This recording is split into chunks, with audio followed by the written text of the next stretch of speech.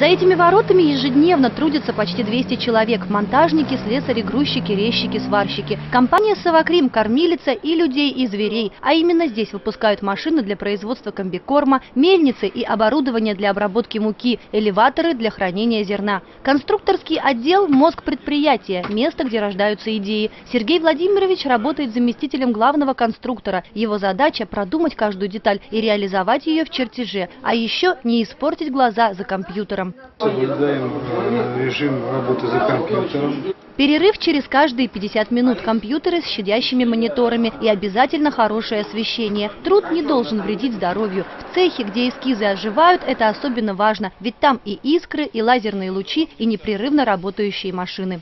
То есть все автоматизировано. Александр Иванович работает слесарем-сварщиком уже много лет. Инструктаж по технике безопасности он проходит ежегодно и знает, что самое важное – быть правильно одетым. Одевается головной убор, куртка, брюки, ботинки, рукавицы, фартук вот можно одеть, чтобы защититься от этого. Ну и, открытые места, чтобы не было от ожогов. Одежда на брезентовой основе и защита для глаз – главные помощники. Без такого обмундирования на сварку даже глядеть нельзя, не то что работать с ней. А для Валерия Рафаэловича, который работает по красочной камере, важный элемент – специальная маска, позволяющая не дышать краской.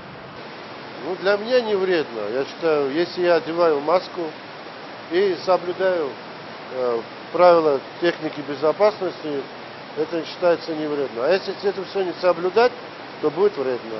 Соблюдать технику безопасности важно каждому сотруднику, а директору необходимо делать все, чтобы улучшить условия труда. На предприятии этому уделяется много внимания. Так, в покрасочной камере установлена водяная вытяжка. Вода, которая очищает воздух, течет прямо под ногами. Также вот э, все эти осадочные, там все проходит через водяную завесу. Запаха нет, нормально все. Установлено и необходимое оборудование пожаротушения. Ежегодно здесь делают замеры загрязненности, освещенности. Сотрудники раз в год проходят медицинский контроль. И вредники, те, кто работает с вредным производством, обследуются даже чаще.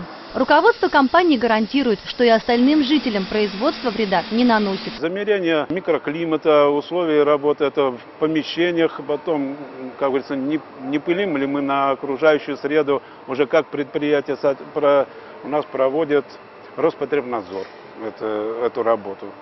Мы их вызываем два раза в год, они у нас за, производят замеры.